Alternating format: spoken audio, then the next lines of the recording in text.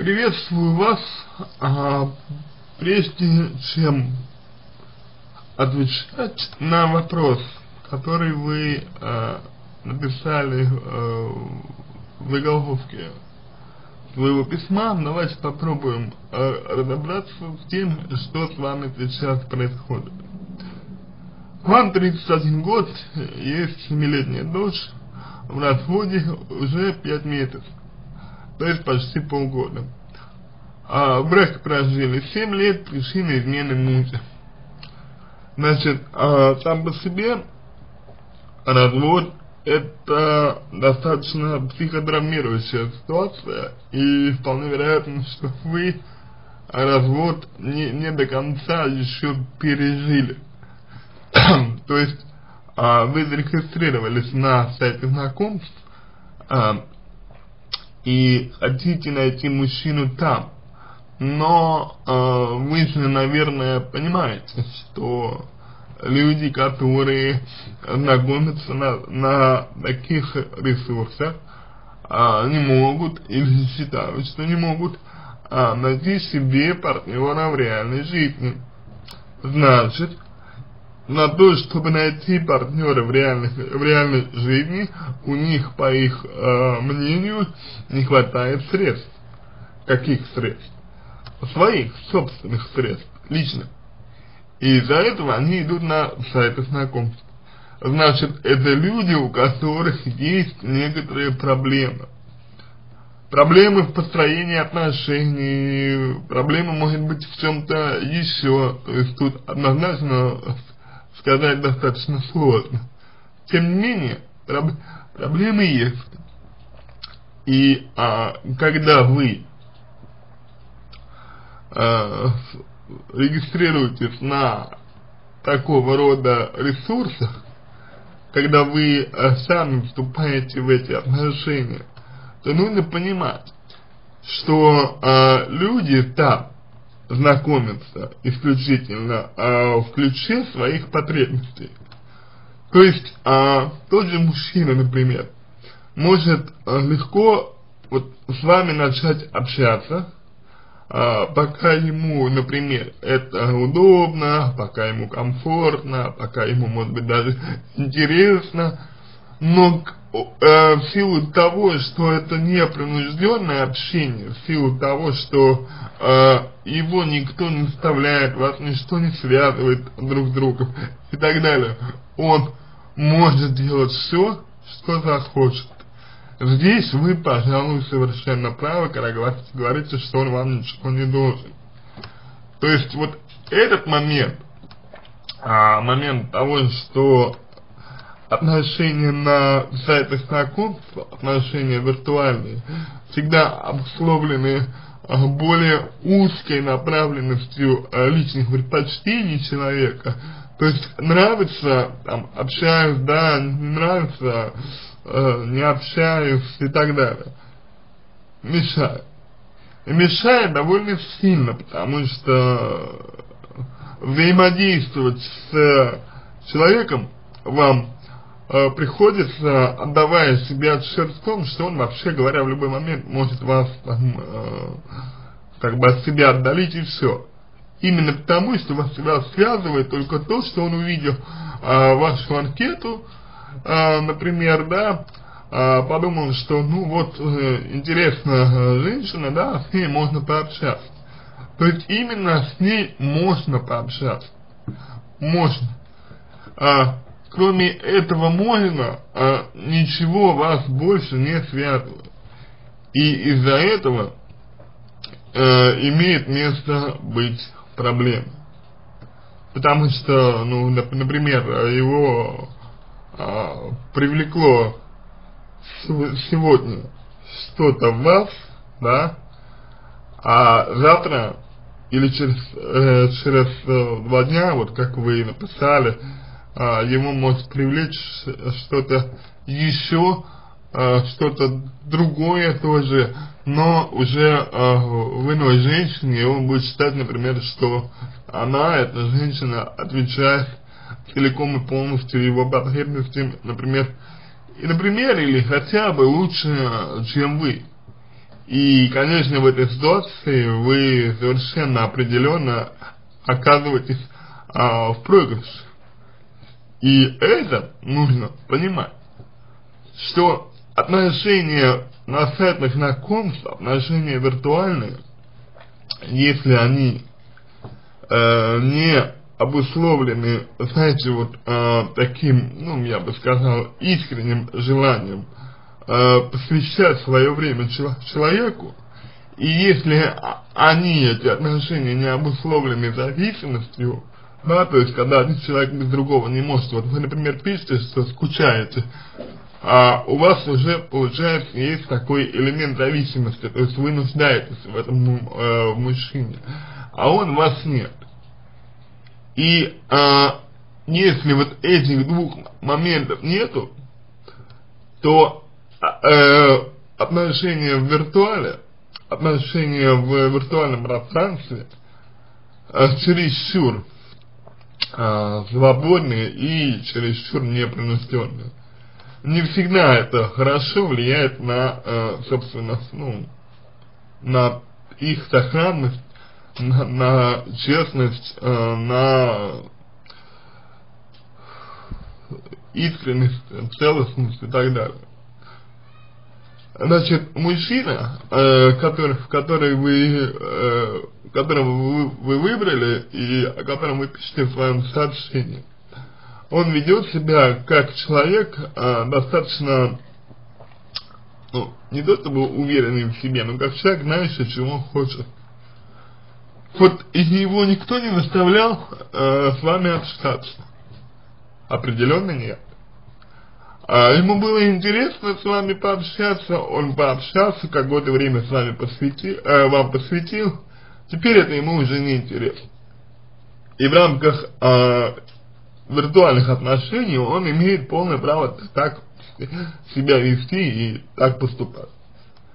И вам э, заставить его или требовать от него что-то действительно не целесообразно, потому что ну, ни к чему хорошему это не приведет. Наверное, еще больше его оттолкнет только от вас. То есть вот этот момент а, нужно понимать.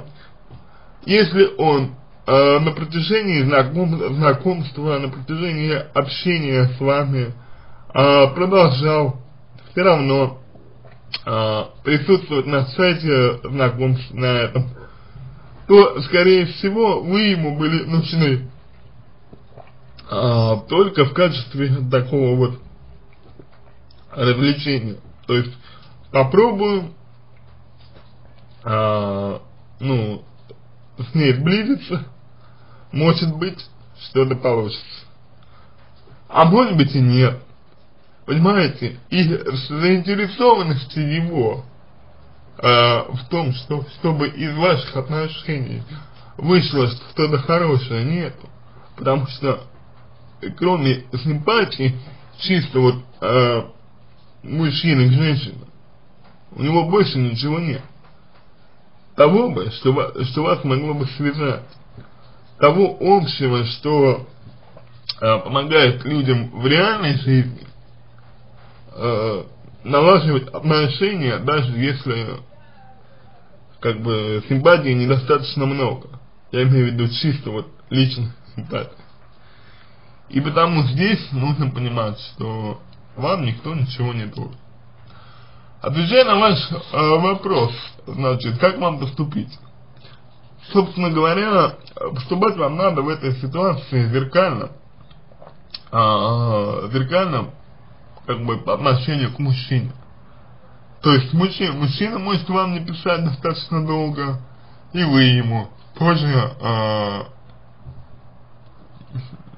не, пиш, не пишите, а, тоже не пишите и как бы ведите, ведите себя независимо, ведите себя а, самостоятельно показывайте ему, что бегать за ним не собирается. Ага, так. Имеете ли я право спросить, а, какие у него планы по поводу вас? Ага, понимаете, а, можете а, спрашивать, конечно. Этого права у вас а, никто не отбирал и отобрать не может. Но другой вопрос, как вы будете выглядеть э, в глазах мужчины, если э, спросите у него об этом. Ведь э, очевидно, что подобный вопрос как бы дает такой посыл, что вы просите у него э, его внимание и просите обратить его на вас, его внимание на вас. То есть получается, что вы принижаете себя в его глазах, снижаете свою ценность. И нет гарантии, что мужчина э, как бы будет смотреть на вас так же, как он смотрит сейчас. Сейчас вы для него просто женщина, с которой он попробовал, и в которой, в которой ему не то чтобы не понравилось, но нет такого сильного желания посвящать э, ей свое время. Если вы у него это, вы, он будет думать, что вы от него зависите, что вы в него влюбились, и будет не только завышать ценность себе, но и вполне ага, вероятно, он будет а, как бы манипулировать вами, осознанно или нет. И если вы всего этого не боитесь, то спрашивайте. Если, точнее не так, если вы не то, чтобы не боитесь, если вы э, э, считаете для себя вот это допустимым, то спрашивайте, дело ваше. Но если вы беспокоитесь о своем достоинстве и о том, как вы будете выглядеть в глазах мужчины, то не, тогда лучше не стоит. Что будет дальше после нашей встречи? Ну, вообще говоря, э, если ваша встреча состоится, что еще, как я понял, под вопросом, э, то возможно несколько вариантов развития э, событий. Первое, то, что и вы, и он э, увидите друг в друге э, своего человека и будете общаться дальше, э, при этом, к сожалению, никто не даст гарантии, что мужчина перестанет э, сидеть на том же сайте знакомств, например, вполне возможно, что он так и будет, э, как бы это, это делать просто потому, что э, будет прорабатывать на всякий случай запасной вариант, допустим. А второй вариант это то, что встреча пройдет холодно, вы э, поймете, что человек, вообще говоря, чужой, и что э, для того, чтобы узнать его, нужно время, нужно много встреч, а эти встречи, скорее всего, больше в таком случае не состоятся, потому что это слишком трудоемко для э, тех людей, у которых ничего общего, кроме а, такой вот личной симпатии, а, личной привлекательности для другого нет. И поэтому во втором случае, скорее всего, будущего у ваших отношений попросту нет. Далее вы пишете, а, что он ищет на сайте. На сайте он и ищет э, только то, что ему ведомо, мы не можем э, говорить за другого человека, но очевидно, что э, мужчина, как я уже сказал, испытывает проблемы с построением э, отношений в реальной жизни, а значит не уверен в себе, и это в свою очередь э, обуславливает его поведение, направленное в первую очередь на самоутверждение. И вот э, если говорить о том, что он однозначно ищет на сайте, это самоутверждение. Он хочет встречаться с женщинами, хочет проводить с ними время, хочет, может быть, э, вступать с ними в отношения, может быть, когда-то с кем-то построить серьезные, серьезные отношения, но вероятность этого достаточно мала, потому что, еще раз повторю, те условия, которые я назвал, как, как бы намекают на то, что э, серьезность человека под вопросом и именно силу мотивации, заставившей, заставивших его прийти на этот сайт. Тем не менее, э, у каждого человека э, все индивидуально. И нельзя сказать однозначно, что вот именно он, например, несерьезный нельзя сказать, что именно он а, обязательно там, не знаю, непостоянный человек, Альфонс, или хочет обмануть. Нужно больше информации о нем. Но однозначно можно и нужно говорить о том, что привело его на сайт. Вообще говоря, этот вопрос вы можете задать ему. э, как бы, почему он решил э, зарегистрироваться на сайте знакомств. И, вам тоже этот вопрос нужно задать. Дальше. Э, собственно, дальше вы пишете, что мне не нравится его поведение. Вот это не очень понятный вопрос, э, что мне не нравится его поведение. Э, то есть вы, наверное, э, хотели спросить, э, хотели спросить, имеете ли вы право сказать ему, что вам не нравится его поведение. Опять-таки, э, сказать вы имеете полное право. Другое дело, э, какого эффекта вы ждете. Вы скажете вы ему это, и мужчина просто-напросто э, выслушает вас, поймет, что вы уже ставите ему какие-то рамки, поймет, что вы уже пытаетесь его как-то себе подчинить, вряд ли это э, и пойдет на пользу вашим отношениям. Понимаете, если бы он не хотел э, сидеть на сайте знакомств, если бы вы нравились ему настолько, что он бы был заинтересован только вами, то все бы само собой получилось. А раз нет, значит нет, и это значит, что ему не важно, что вы думаете по поводу его поведения.